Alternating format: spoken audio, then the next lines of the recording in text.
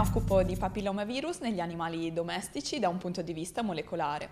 La mia ricerca si basa sul studio comparato tra diverse specie animali come il cane, il gatto, il cavallo, gli ovini e l'uomo per lo studio delle forme neoplastiche provocate proprio da questo virus. Negli animali domestici infatti causa diversi tumori in varie parti del corpo che possono essere sia benigni ma anche maligni, mentre nell'uomo è noto eh, per, causare, per essere la principale causa di cancro al collo dell'utero nella donna.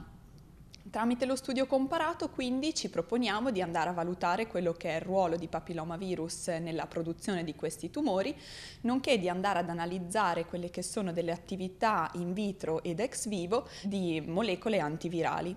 La produzione di dati ultima quindi ci dovrebbe permettere di andare a produrre delle nuove terapie sia per la cura del cancro nell'uomo che negli animali.